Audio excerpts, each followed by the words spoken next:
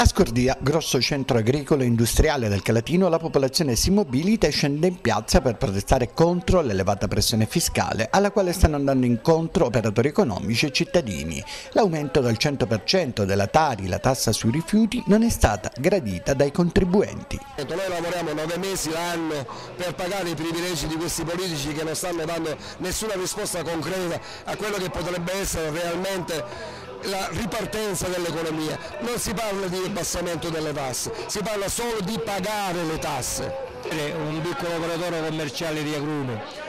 Il territorio del Calatino da tanti anni noi segnaliamo che è in declino economico, sociale e politico.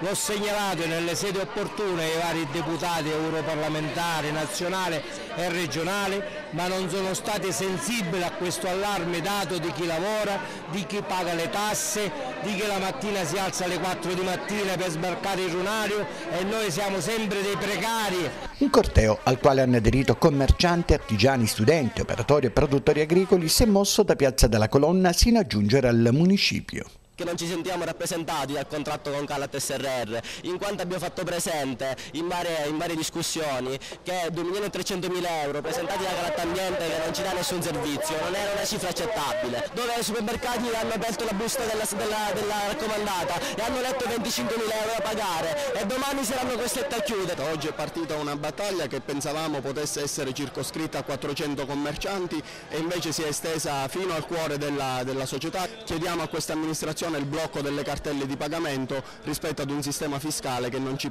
non ci permette più di onorare i pagamenti dei tributi. Saracinesche di esercenze abbassate lungo il corso Vittorio Emanuele per dire basta all'inasprimento fiscale, ritenuto dai più iniquo rispetto ai servizi erogati ed offerti dalla società d'ambito Calat Ambiente di Caltagirone. Sono disperati gli agricoltori agrumicoli perché l'arancio li vogliono comprare i signori commercianti a 20 centesimi al chilo. Gli studenti unitisi al corteo nel corso della manifestazione hanno inscenato cori e slogan contro la mafia e non solo.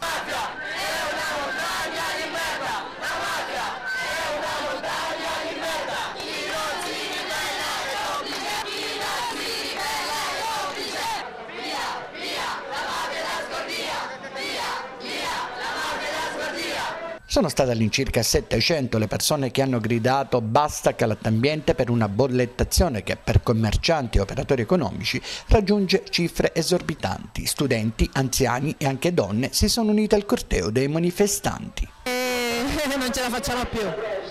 Cosa chiediamo? Di abbassare tutto, togliere tutte le tasse in eccesso che ci sono, un abuso. E poi queste tasse che ci mettono non si può lavorare più, questa è la verità. E quindi siamo scesi per fare questa... speriamo che serva a qualche cosa. Scordia, insomma, si è mobilitata con una manifestazione composta e civile che ha dimostrato solo la rabbia dei contribuenti al sistema politico che partendo dai comuni, passando per ex province, regione, sino a giungere al governo centrale, denota le reazioni della gente comune alla piramide istituzionale. Ci siamo accorti che i ladri e gli evasori sono al governo, è vero, e la gente paga le sofferenze, chiude, perde la casa, perde tutto, si suicidano, è una vergogna veramente. Quindi l'organizzazione a delinquere è al governo, ma ci siamo accorti che al governo sia nei comuni, nelle regioni, nelle province e a carattere nazionale. Quindi i veri evasori non è il, la gente che non riesce a pagare, quello non è un evasore, è un povero Cristo che è tartassato, il vero evasore è chi sta al governo e anche ladro.